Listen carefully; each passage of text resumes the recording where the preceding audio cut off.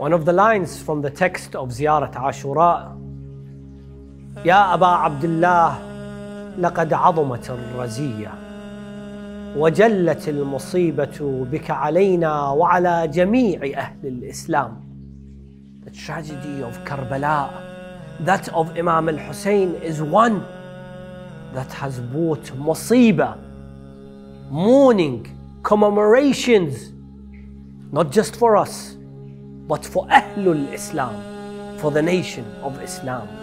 وجلت وعظمت المصيبة بك علينا وعلى جميع أهل السماوات. In fact, Imam al-Baqir Salamullah alayhi says, the musiba, the tragedy of Karbala, the tragedy of Ashura is such a musiba, such a tragedy that not only the people on this earth are affected, but even the people in the samawat, even the people in the heavens. لقد عظمت الرزية وجلت وعظمت المصيبة بك علينا علينا علينا.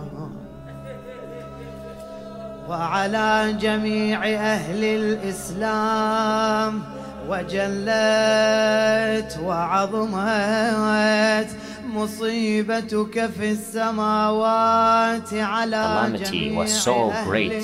The magnitude of the calamity is powerful, overwhelming the whole people of the religion of Islam.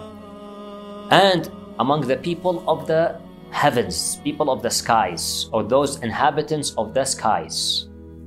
Al-Imam al-Rida salawatullahi wa salamu alayhi says, إن يوم الحسين أقرح جفوننا وأسبل دموعنا وأذل عزيزنا في أرض كرب وبلاء He says the day of Imam al-Hussein made our eyes wounded with blood يعني there is blood coming from their eyes and made our tears flow and made our honored people humiliated at the land of Karbun wa Bala. الإمام المهدي المنتظر عجل الله تعالى فرجه الشريف in زيارة الناحية he says I shall cry you instead of tears blood so أهل البيت عليهم السلام they are the ones who recognize the greatness and the magnitude of the calamity of the day of Ashura This essentially indicates to us that everything cries for Imam Hussein. Everything. Jami'u samawat, right? Everything. Everything in the earth and the heavens and the skies and the cosmos and the universe weeps over Imam Hussein alayhi salam. As I've described in other places and I describe in my in my research on this subject in my doctorate dissertation, we could almost say in a way that heaven even that the rivers of heaven mourn for Imam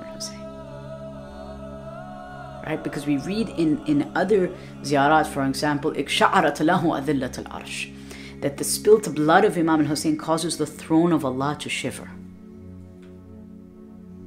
If the throne of Allah Azza wa Jal, which is not a physical thing, it's a, metaph- it's a, it's a metaphysical concept that reflects God's power and knowledge. That metaphysical, cosmic, universal, unseen infrastructure is shivering at the spilt blood of Imam al-Hussein, at those wounds of Imam al-Hussein that were leaking from his throat and his back and his head. Then what about us as human beings?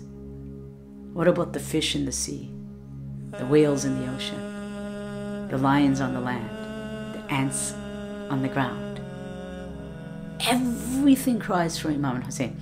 Now, whether they understand what they are doing or not is different, and that's why we say we can say that the tears for Imam Hussein, the remembrance of the Imam Hussein, is a form of tasbih for Allah subhanahu wa ta'ala.